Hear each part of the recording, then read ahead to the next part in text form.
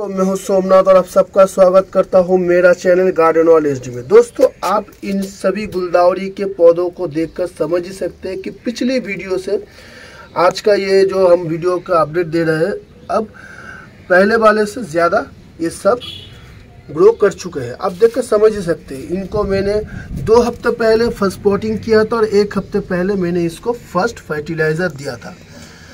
तो देख सकते उससे ये कितना डेवलप हुआ है। दोस्तों, आज हम इसको दूसरी बार फर्टिलाइज़र देंगे और इसी के साथ हम इसका फ़र्स्ट पिंचिंग भी करेंगे।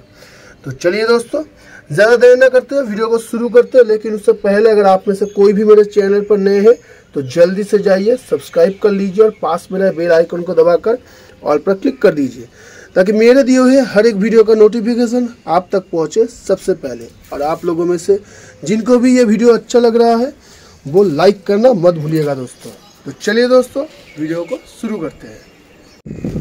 तो दोस्तों, ये बारिश का मौसम चल रहा है। कभी भी बारिश आता है, कभी बारिश रुक जाता है। आज सुबह ही बारिश हुआ है तो आप देख सकते हैं मेरे हर एक पॉट की जो मिट्टी है, वो थोड़ा सा भिगा हुआ है। क्योंकि सुबह ही बारिश हुआ है, आप मेरे गार्डन को देखकर भी समझ सकते हैं। लेकिन अभी पूरा धूप निकला हुआ है। तो दोस्तों, आज हमको हमारी जो गुलदावरी के पौधे हैं, उनको हमें फर्टिलाइज़र देना है। बारिश आ रहा है तो इसका मतलब ये नहीं कि हम उनको फर्टिलाइज़र नहीं देंगे। देंगे दोस्तों, लेकिन लिक्विड फर्टिलाइज़र नहीं। मैं पहले भी आपको मना किया है कि बारिश के मौसम में लिक्विड फर्टिलाइज़र का इस्तेमाल मत कीजिए, क्योंकि इस वक्त क्या होता है दोस्तों, बारिश का कोई ठिकाना नहीं होता है, कभी भी बारिश आ जाता है। तो अगर आप लोग लिक्विड फर्टिलाइज़र देंगे तो इसमें जो मॉइस्चर पकड़ लेगा उसके ऊपर अगर बारिश का पानी गिरेगा तो जितना भी लिक्विड फर्टिलाइज़र आप देंगे, वो पूरा सीधा नीचे से निकल जाएगा। इसका कोई काम का नहीं रहेगा। तो आज हम आपको फर्टिलाइज़र देना दिखाएँगे कि किस तरह से बारिश में की मौसम में भी हर एक गुलदावरी के पौधों को आप फर्टिलाइज़र किस तरह से देंगे। उसी के साथ आज हम आपको दिखाएँगे कि किस तरह से फ़र्स्ट पिंचिंग करेंगे। क्योंकि दोस्तों फ़र्स्ट पिंचिंग के ऊपर बहुत कुछ बेस्ट कर लेता है। क्योंकि दोस्तों फ़र्स्ट पिंचिंग अगर आपका सही तरीके से नहीं होगा तो पहली बार आपको जो ब्रांचेस मिलेंगे, वो ब्रांचेस की जो काउंटिंग है, वो कम होगा। और जितना ब्रांच आपको पहली पिंचिंग के बाद कम मिलेगा, उतना ही बाद में आपको कम फूल मिलेगा। क्योंकि दोस्तों गुलदावरी की जितनी ज़्यादा ब्रांचेस आप ला पाएँगे, उतना ही ज़्यादा फूल आपको मिलेगा। और मैंने आपको वादा किया था, इस सीरीज़ के पहले कि आपसी भी साल जितनी फूल आपको मिलता है, उससे लगभग दो से तीन गुना ज़्यादा फूल आपको लाकर मैं दिखाऊँगा। इसी के साथ आप लोगों में से जो लोग भी हमारे साथ पहले से जुड़े हुए हैं, जो लोग मेरे हर एक वीडियो को देखकर स्टेप बाय स्टेप अपने गुलदावरी के ऊपर काम कर रहे हैं, मैं उनको धन्यवाद कहूँगा कि आप मुझे फॉलो कर रहे हैं, मेरे हर एक बात को सुन रहे हैं, अपनी कीमती वक्त ज़ाया करके। तो उनके लिए मैं एक बात ज़रूर कहूँगा कि मैं आपको प्रैक्टिकली हर एक चीज़ दिखाऊँगा ताकि आप में से जो लोग नए गार्डनर्स भी हैं, जो एक या दो साल से गार्डनिंग कर रहे हैं, उनके भी गार्डन में गुलदावरी बहुत ही अच्छा फूल देगा। तो चलिए दोस्तों, पहले हम आपको बताते हैं कि आप किस तरह से पिंचिंग करेंगे। मैं आपको दिखा देता हूँ कि मैंने यहाँ पर सिर्फ़ चार गुलदावरी के पौधों को ही लिया है, क्योंकि सबको मैं एक साथ नहीं दिखा सकता, क्योंकि मेरे पास लगभग तीस, चालीस पौधे हैं तो एक साथ सबको पिंचिंग करना, उस पर फर्टिलाइज़र देना, दिखाना पॉसिबल नहीं है एक वीडियो में। तो मैंने बस इन चारों को लिया है। तो पहले मैं आपको दिखा देता हूँ कि आप इनको किस तरह से पिंचिंग करेंगे। दोस्तों, पहला पिंचिंग में आपको इसलिए दिखा रहा हूँ, क्योंकि पहले पिंचिंग में बहुत कुछ इसके ऊपर बेस होता है। आप देख सकते हैं, मेरे ये छोटा सा पौधा कितनी पत्तियों से भरा हुआ है। दोस्तों, आप इसको इस तरह से पिंच करेंगे ताकि इसमें से आपको लगभग तीन से चार ब्रांचेस मिल जाए। क्योंकि दोस्तों, इस साइज़ में अगर आपको ज़्यादा ब्रांचेस मिल जाएँगे तो आगे चलकर चार से आठ या बारह या फिर बहुत ही जल्द आपको ढेर सारे ब्रांचेस मिल जाएँगे। और जितनी ज़्यादा आपको ब्रांचेस मिलेंगे, उतना ही ज़्यादा फूल आप देख सकेंगे। साथ ही आपका जो गुलदावरी का पौधा है, वो बहुत ही खूबसूरत दिखेगा। तो चलिए दोस्तों, पहले हम आपको दिखा देते हैं किस तरह से आप पिंचिंग करेंगे। आप देख सकते हैं दोस्तों, इसमें ये ऊपर की तरफ़ ये दो पत्तियाँ हैं। इन दोनों पत्तियों को लेकर सिर्फ़ अगर पिंचिंग करेंगे आप तो इसके जो नीचे है, इन दोनों पत्तियों से ही सिर्फ़ आपको ब्रांच मिलेगा। तो आपको पिंचिंग किस तरह से करना होगा? पिंचिंग आपको इस तरह से करना होगा ताकि सिर्फ़ ये दोनों पत्तियों की से ही नहीं, बल्कि इसके निचले हिस्से में भी जितने पत्तियाँ हैं, उनमें से भी ज़्यादातर की ये जो निचले हिस्से हैं, यहाँ से ब्रांचेस आए। तो आपको क्या करना होगा? इस ऊपर के हिस्से में ये जो दो से तीन जो ये पत्तियाँ है, ये नया पत्ती जो छोड़ा था, इसको भी आप इसके साथ लेकर पिंच कर दीजिए। इससे क्या होगा? इन सभी जो पत्तियाँ हैं, इनकी जो ये एकदम जो लगा हुआ है, पौधे के साथ जो हिस्सा, उस जगह से नए नए ब्रांचेस आना शुरू हो जाएगा। और एक साथ लगभग आपको तीन चार से ज़्यादा भी ब्रांच आप ला सकते हैं इसमें। तो इसी तरह से आपको पिंच करना होगा। दोस्तों, ध्यान दीजिएगा, मैंने इसको ज़्यादा बड़ा होने नहीं दिया है। बस ये ज़्यादा से ज़्यादा एक से डेढ़ इंची हाइट है इसका। अभी से मैं इसको पिंच कर रहा हूँ। इस साइज़ से पिंच करने से आपको वक्त भी बहुत ज़्यादा मिलेगा ब्रांचेस भी बहुत ही ज़्यादा मिलेगा। तो ये साइज़ सही है एकदम आपको इसकी पिंचिंग करने के लिए। आपको मैं दिखा देता हूँ और एक को भी। इसमें भी आप देख सकते हैं, ढेर सारे पत्तियाँ वगैरह है। इसमें देखिए दोस्तों, मैंने यहाँ पर जो ये पहली जो पत्ती इसने छोड़ा है यहाँ पर, ये जो नया पत्तियाँ है, इस पत्ती को लेकर ही मैं इसको पिंच करूँगा। इस तरह से पिंच करता जाऊँगा हर एक का।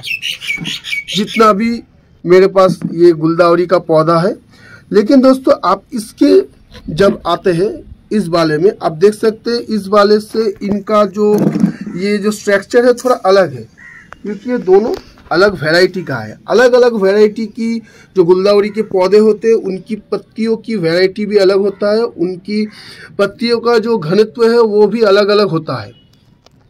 इसमें से ज़्यादा पत्ती आपको यहाँ पर देखने को मिल रहा है। आप देख सकते हैं यहाँ पर एकदम ये टॉप पोजीशन में लगा हुआ, देखिए दोस्तों, चार पत्तियाँ है। तो इन चार पत्तियों को लेकर हम इसको पिंच करेंगे, क्योंकि हमें इसके निचले हिस्से से हमें इसका ब्रांचेस चाहिए। आप देख सकते हैं, ये दो नए पत्ते छोड़े थे और ये दो सिर्फ़ आ रहा था। तो इनको लेकर मैंने इसका पिंच कर दिया है। तो इस तरह से मैं हर एक का इस तरह से पिंच कर दूँगा। ये देखिए, ये सिर्फ़ निकल रहा है अभी अभी तो इसके पास का ये जो पत्ती है, उसे ही लेकर मैं पिंच कर दिया।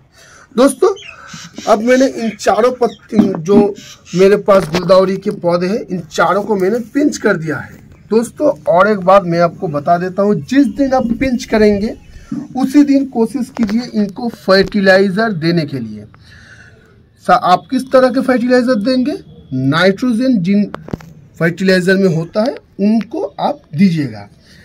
क्योंकि गुलदावरी को नाइट्रोजन वाला जो फर्टिलाइज़र होता है, वो इन्हें बहुत ही ज़्यादा पसंद आता है। लेकिन इसका मतलब ये नहीं कि आप ढेर सारे फर्टिलाइज़र दे रहा है या फिर जिसमें बहुत हाई क्वांटिटी में नाइट्रोजन है, उसका मात्रा आप ज़्यादा दे रहे हैं, उस वो कोई काम का नहीं आएगा। ये अभी छोटे प्लांट है तो आपको बहुत ही सोच समझकर इसके ऊपर फर्टिलाइज़र देना होगा। क्योंकि दोस्तों, अगर आप ज़्यादा मात्रा में फर्टिलाइज़र दे देंगे तो आपके ये जो छोटे छोटे जो प्लांट्स है, ये खराब हो सकते हैं, इनकी पत्तियाँ झुलस सकता है, इससे आपका नुकसान हो जाएगा। तो एकदम नाप तोल कर आपको इस वक्त इनको फर्टिलाइज़र देना होगा। वैसे भी गुलदावरी में फर्टिलाइज़र बाकी जो फूल के जो पौधे होते हैं, उनसे ज़्यादा देना पड़ता है, क्योंकि इनके ग्रोथ भी बहुत ज़्यादा होता है, बाकियों के मुकाबले ये ब्रांचेस बहुत ज़्यादा प्रोड्यूस करते हैं, बहुत जल्द से जल्द ये ग्रो होता है। आप देख ही चुके होंगे कि विंटर में जितने भी गुलदावरी के फूल हैं या फिर पौधे हैं, फूल के पौधे हैं, वो सब देख सकते हैं। आप बाकी के मुकाबले ज़्यादा ग्रोथ लेता है तो इनको फर्टिलाइज़र भी ज़्यादा चाहिए। लेकिन पहले नहीं, पहले इनको थोड़ा नाप तोल कर आपको फर्टिलाइज़र वगैरह देना होगा। नहीं तो आपके जो पौधे उनका नुकसान हो जाएगा। इसी के साथ मैं आपको और एक बात भी बता देता हूँ, जिस दिन आप फर्टिलाइज़र दे रहे हैं, आप सुबह सुबह ही फर्टिलाइज़र दीजिए इनको और इनको उस दिन पूरे धूप में रख दीजिए। पूरे दिन का धूप इनको मल, मिलना चाहिए। दोस्तों, आज हम इसको सेकेंड बार फर्टिलाइज़र दे रहे हैं फ़र्स्ट पिंचिंग कर रहे हैं। आज ही से हम, हमारे हर एक गुलदावरी के पौधे को पूरे सनलाइट में रखेंगे। अब ना ही एक, दो घंटे या फिर तीन, चार घंटा नहीं, इनको पूरी दिन का हम धूप मिलने देंगे। क्योंकि दोस्तों, इस बारिश के मौसम में इनकी ये जो मिट्टी है, ये जल्दी सूखे यही हम चाहेंगे। और मैंने जिस तरह की मिट्टी आपको तैयार करना दिखाया है, उस तरह की मिट्टी आप अगर तैयार करेंगे तो इसमें पानी ठहरेगा ही नहीं, बहुत कम मात्रा में इसमें नमी रहेगा। और बारिश के मौसम में आप सभी जानते हैं कि बारिश हो जाने के बाद, बारिश के बाद फ़ौरन बाद ही धूप निकल आता है। तो उस वक्त क्या होगा दोस्तों, धूप जैसे ही निकल आएगा, इनके अंदर जो मॉइस्चर इनके अंदर रहेगा, वो मॉइस्चर जल्द से जल्द सूख जाएगा। और आपकी जो पॉट की मिट्टी है, वो सही रहेगा और आपकी गुलदावरी के पौधों को किसी भी तरह का कोई नुकसान नहीं होगा। तो दोस्तों, चलिए अब हम आपको दिखाते हैं कि आप किस तरह से इनमें फर्टिलाइज़र देंगे। तो दोस्तों, चलिए हम आपको दिखा देते हैं। दोस्तों फर्टिलाइज़र इस्तेमाल आप जब करेंगे तो ड्राई फर्टिलाइज़र हम इसमें इस्तेमाल करेंगे आज। तो उसको इस्तेमाल करने के लिए हम इसकी जो सॉइल मिक्सचर बनाए थे, उसी तरह की हम ले लेंगे। ये देखिए दोस्तों, मैंने लगभग 50 परसेंट हम इसमें रेत लिया है। हमने 25 परसेंट कोकोपीट और 25 परसेंट हमने मिट्टी लिया है। इसमें हम फर्टिलाइज़र को पहले मिलाएँगे, उसके बाद हम इसको देंगे। दोस्तों ड्राई फर्टिलाइज़र जो होता है, उसका जो पावर होता है, वो बहुत ज़्यादा होता है। तो हम डायरेक्ट अगर इसमें दे देंगे तो क्या होगा? वो एक जमा एक जगह जमा हो सकता है या फिर एक ही जगह पर रह सकता है, जिसमें क्या होगा? इसमें पानी जाएगा तो इसका नुकसान हो सकता है उससे। तो हमें उसको बैलेंस करके देना होगा। इस तरह से देना होगा ताकि इसका कोई नुकसान ना हो। और आप वीडियो में देख कर समझ ही सकते हैं कि अभी धूप आ रहा है, अभी छाया आ रहा है। तो इसी तरह से हो रहा है। और ऊपर भी आप देख सकते हैं कि बादल जमा हुआ है, कभी भी बारिश हो सकते हैं तो इसीलिए हमें इसको ड्राई फर्टिलाइज़र ही देना होगा। तो अब हम इसमें क्या मिलाएँगे दोस्तों? नाइट्रोजन वाला जो खाद होता है, वो हम मिलाएँगे। तो हम इसके लिए आज लेंगे मस्टर्ड केक का जो ड्राई फर्टिलाइज़र होता है मस्टर्ड केक को हमने ड्राई कर लिया एकदम डस्ट कर लिया है, इस तरह से देख सकते हैं आप।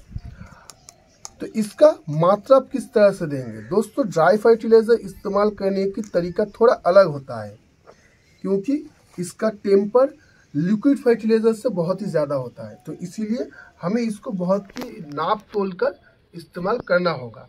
हमने चार पॉट ले लिया है तो चार पॉट में हम एक एक मुट्ठी डालेंगे। तो उस हिसाब से मैंने इसमें रेशियो करके इन इंग्रेडिएंट्स को लिया है। तो हमें क्या करना होगा? हर दो पॉट में एक टीस्पून हमें ये मस्टर्ड केक का जो ड्राई है, एकदम डस्ट फर्टिलाइज़र है, इसको हमको मिलाना होगा। तो इस तरह के दो चम्मच हम इसमें डाल देंगे। इस दो चम्मच हम डाल देंगे। यही इनके लिए काफ़ी होगा। इससे ज़्यादा देने की कोई ज़रूरत नहीं होगा। तो हमें पहले इनको अच्छी तरह से इस तरह से मिला लेंगे। दोस्तों, इससे मिलाने से क्या होगा? इनकी जो दाने हैं, वो आपस से भी अलग हो जाएँगे, इसके साथ पूरी तरह से घुल मिल जाएगा। उससे क्या होगा? आपकी जो पौधा है, वो भी स्वस्थ रहेगा, उसे फर्टिलाइज़र भी मिल जाएगा, साथ ही उसका कोई नुकसान भी नहीं होगा। और इसी के साथ अगर आप इस वक्त लिक्विड फर्टिलाइज़र डालेंगे तो आप देख ही चुके हैं कि अभी बादल जमा हुआ है।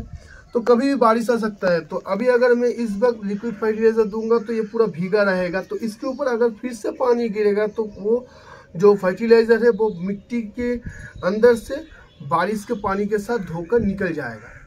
वो इसका कोई काम का नहीं रहेगा। लेकिन अगर हम इस तरह से ड्राई फर्टिलाइज़र का इस्तेमाल करेंगे तो क्या होगा? ये एक ही बार में पूरा रिलीज़ नहीं होगा। ये धीरे धीरे करके रिलीज़ होगा। तो कुछ जो है इसके अंदर पानी गिरेगा तो पानी थोड़ा बाहर आ जाएगा, थोड़ा सा फर्टिलाइज़र बाहर आ जाएगा इसकी इससे पानी लगकर, थोड़ा सा पानी बाहर आ जाएगा, थोड़ा सा अंदर रहेगा तो कुछ इसको मिलेगा।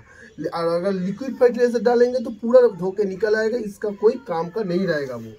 तो अब हम क्या करेंगे दोस्तों एक एक मुट्ठी लेंगे और इसमें डाल देंगे हम। ये जड़ों के पास भी जाएगा तो कोई नुकसान नहीं करेगा ये। आप इस तरह से एक एक मुट्ठी डाल दीजिएगा हर एक पौधे में।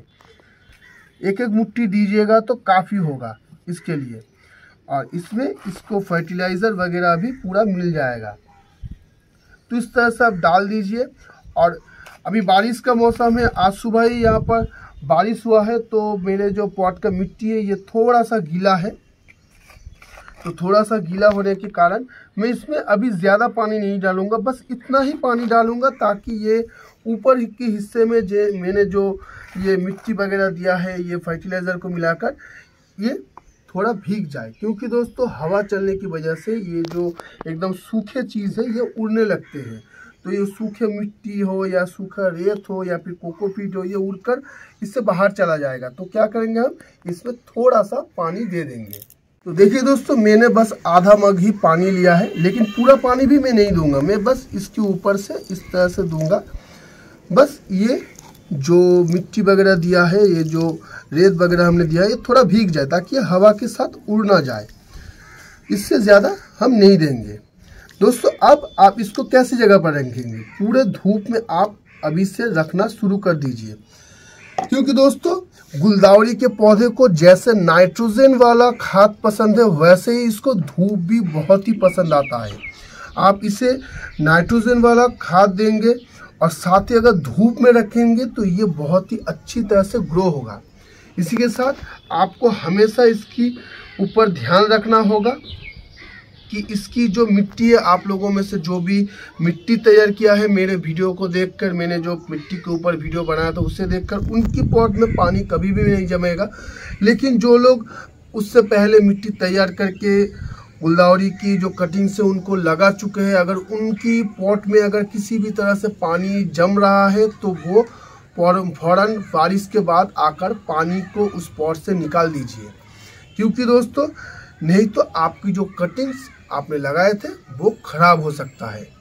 आप कोशिश कीजिएगा कि जब आपकी जो कटिंग्स आपने जिस मिट्टी में लगाए हैं, वो जब सूख जाए तो कोशिश कीजिएगा कि आप तुरंत उसकी मिट्टी को चेंज कर दें, क्योंकि अभी अगर आप चेंज कर सकते हैं तो बहुत ही अच्छा है, और नहीं कर सकते तो ऐसे ही रहने दीजिए, बारिश के बाद फ़ौरन उसमें से पानी निकाल दीजिए। तो दोस्तों, आज की वीडियो में बस यहीं तक। अगर आज के वीडियो आपको अच्छा लगा है तो एक लाइक ज़रूर कीजिएगा दोस्तों। अपने हर एक गुलदावरी की प्लान की अच्छे से ख्याल रखिएगा। मिलेंगे हम फिर अगले वीडियो में। तब तक के लिए देखते रहिए गार्डन नॉलेज डी के बाकी वीडियोस को। चलता हूँ दोस्तों।